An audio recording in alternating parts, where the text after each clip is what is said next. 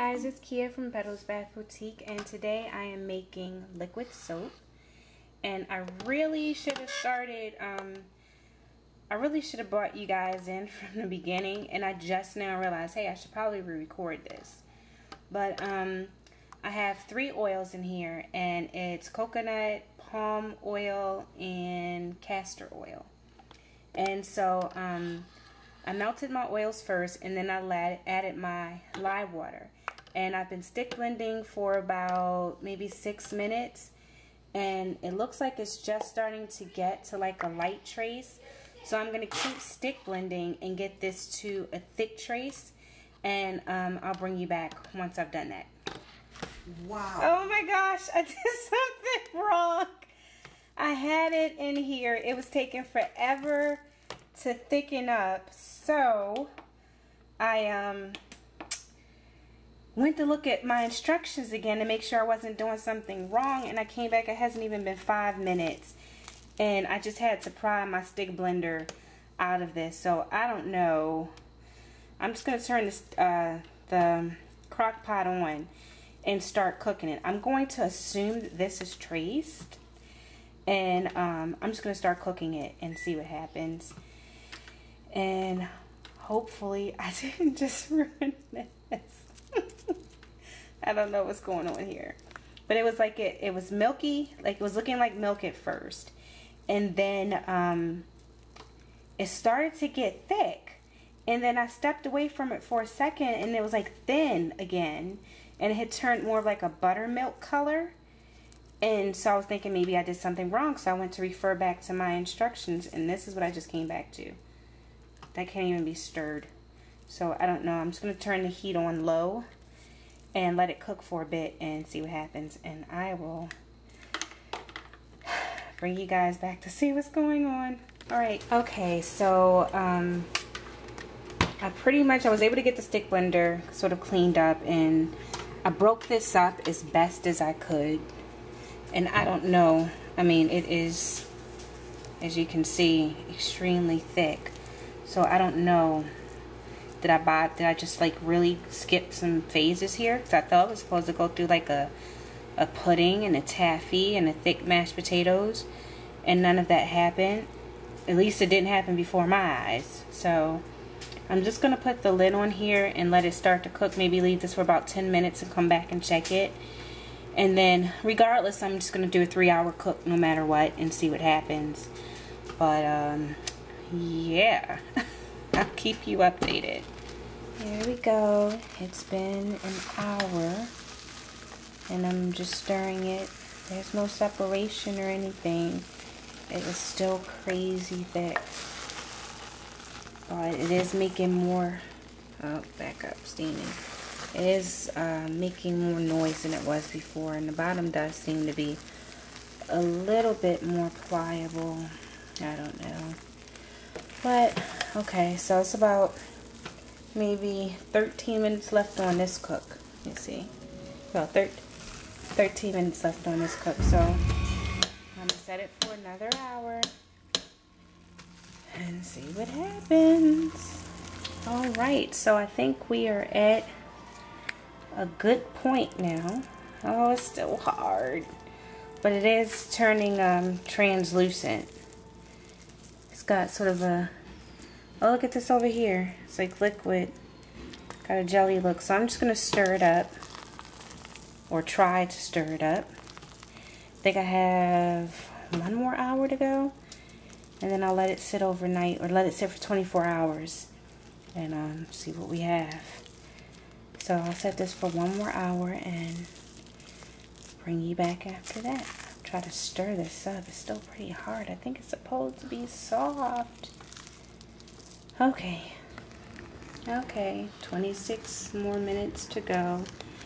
And um, to me, it's looking pretty translucent. So I'm going to try to give this a stir. I have a stainless steel spoon this time. Still pretty tough though, but give this a stir and let it finish out the last uh, 20 minutes or so and then I'll just let it sit for 24 hours and I should have some paste. I did do earlier, I know it was too soon, but I did try dissolving some in some water and it was cloudy. So it's definitely not ready yet. But I'll finish out this, this cook and see what we have after that. So we're at the end of the third hour and it's looking pretty translucent to me. Haven't tried to stir it yet. Oh, still pretty hard. I guess this is just the paste now. Pretty translucent, so that's it for today and I'll let it sit overnight. Okay, I totally forgot to bring you guys back. Um, we let it sit overnight and this is our coconut cream liquid soap paste. So this is going to be the base for the, uh, the liquid soap. So um, as you can see, it's pretty translucent. Um, I cooked it last night. I wasn't sure this morning, so I just gave it an extra 30 minutes just to be safe. And then um, I did a little sample bit. I'll show you that in a second. Okay, you put the lid on that. I'm making, okay, I'm making just a small amount right here. It's about, this is going to be about eight, just over eight ounces.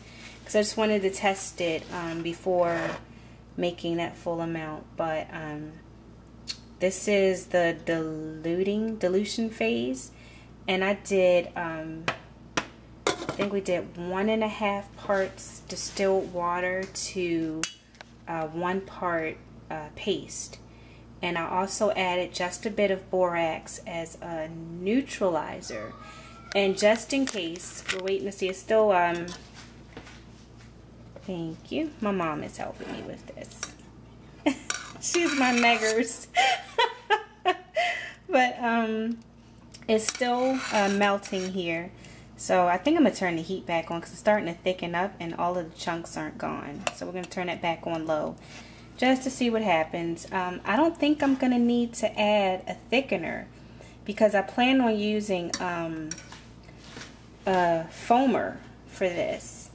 So I'm thinking we're not going to have to uh, use a thickener, but I do have some glycerin and, um, is it Xanthan? I can't say it, but um, some Vaxthin, I'll spell it. Xanthin. How do you say it? xanthan. Oh, xanthan gum. Starts with an X. Some xanthan gum uh, on the side just in case. I still might add a little bit of glycerin to this, but we'll see. We'll get this fully melted and go from there. So if there are any more changes, um, I'll bring you back. But I'll probably bring you back when we're ready to add the fragrance and preservative and get it bottled up. All right. Okay, so we just added, sorry, I've been running up and down the steps, but we just added the uh, preservative and the fragrance oil, which caused it to cloud ever so slightly, but we weren't going for a super clear soap anyway. And since this is for us, we also added um, a little bit of pearl mica to give it a bit of a pearlescent look to it. And um, the total amount of water we wound up using was actually two parts water to one part paste. And this is a high coconut oil uh, soap. And I'm going to put it in a foamer. Sorry about my nails. But we're going to put this into a foamer. So we did. We also didn't want a super thick um, gel as well. We wanted it to be somewhat loose because it's going into the foamer. So um, we're going to pour this in and I'll bring you back to see what we got. Okay, so our liquid soap has cooled down and so now we're going to test it out in our foamer.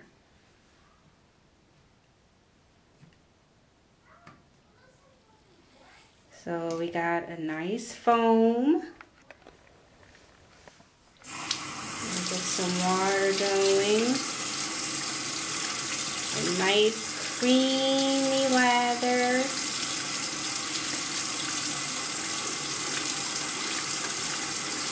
Really good. Oh my goodness, it smells so good. We went with moon water fragrance and it just, when it comes in fresh. It just smells so good. It's kind of a beachy, fresh scent.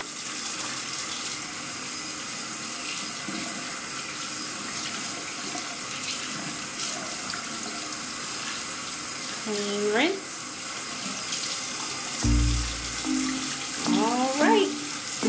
Okay, everybody, thanks so much for watching. Bye-bye.